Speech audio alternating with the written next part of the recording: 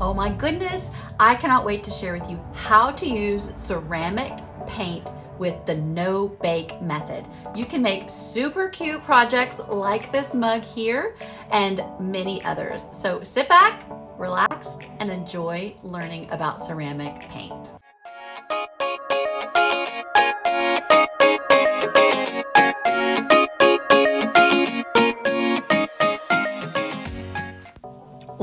Started making this really fun ceramic paint project. So I grabbed a few ceramic dishes from the Dollar Tree, of course, absolutely love that place for craft supplies. And of course, they all came with these lovely sticky stickers on the back. And I just used my heat gun to loosen up the gummy part and peel off the stickers on all three of these ceramic pieces. And I'm loving this sage green color that they came in. So I'm using these stencils from a maker studio and I'll link them below. And I chose to go with this really kind of a greenery floral look um, you just kind of want to lightly tap it down and I'm going to use a little bit of paint tape to just cover up the parts I don't want to get any paint on uh, so that they are separate. Now this is a no-bake ceramic paint. I absolutely love this because it's one and done. You apply one simple coat and you do not have to bake this paint at all. Once you tear off the stencil, you'll be left with this beautiful design and then I immediately wash these stencils with just some water that I have on hand so that I can use them again. Now, I definitely know that sometimes the stencil goes beyond the lines and so I take a little bit of this isom, I can't say that, isopropyl alcohol and an artist brush and just kind of clean up all of those little edges that maybe the paint slipped underneath. Now, the lighter the layer you can put on to your stencil, the cleaner the reveal will be. But, you know, I'm a little heavy handed, so I have paint pretty much everywhere. And again, this alcohol method of removing it is so simple. And I love the detail that you can get with this artist brush. I repeated the pattern on several sides of this little bowl that came from the Dollar Tree. And um, just kind of eyeballed where I would place the next little leaf and I cleaned my stencil in between each application. This turned out so cute. I'm in love with the way that these greenery leaves show up on this bowl. Super fancy. Now, this just has to dry for a little bit and it'll be ready to go. No baking needed with this no bake ceramic paint, which of course I said I will link below. Now we're getting to the platter or the plate, and this is just a plate from the Dollar Tree.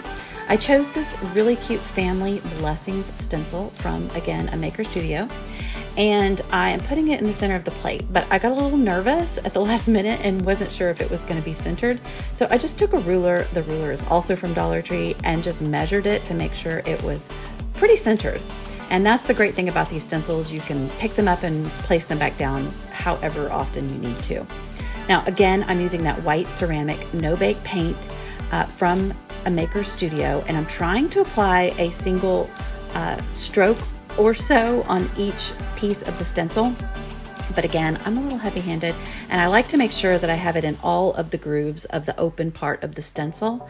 Now, hopefully you can do this in one swipe and you don't have to um, go over and over and over it and that will give you the best results. I was pretty happy with this, but there were some sp spots that I wanted to make sure and clean up.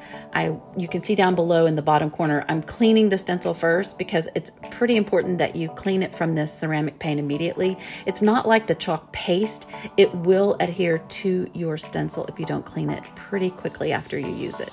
Now I went ahead and put it on a little um, Lazy Susan here that I got from the Target Dollar Spot, and I'm using again the rubbing alcohol with the artist brush to kind of clean up any little areas that I felt like the paint had bled through the stencil so that I'll have a really pretty crisp design when it is all said and done.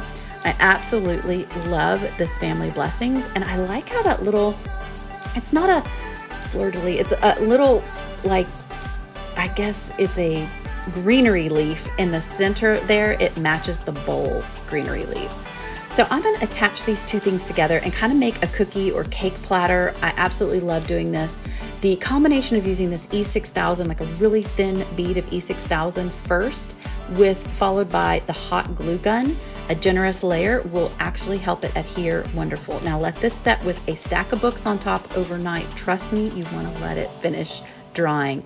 Now for the second project, I'm grabbing this little stencil called Oh So Blessed. I thought it was adorable and I'm placing it on this Dollar Tree ceramic mug. I was a little picky about how it went on there and I was really not sure which side to put it on. So um, with a little help from my friends, we decided to put it on this side and I'm applying that small thin layer of the white ceramic no-bake paint onto the stencil and then we're going to reveal it for a beautiful, beautiful outcome. I love these two projects. I think they turned out super adorable. I have an entire blog post with step by step details and links to order all of the supplies to do this yourself at home if you want to over on the blog, which I will link below. I think these are the perfect gifts or the perfect gifts for moi. I love having these for myself too.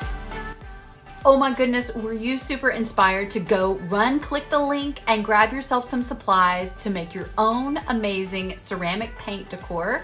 I know I can't wait to get started on making many, many more projects with these supplies. So listen, if you love this, consider subscribing to my channel and going ahead and watching the next fun video. I appreciate you. Mwah. Bye.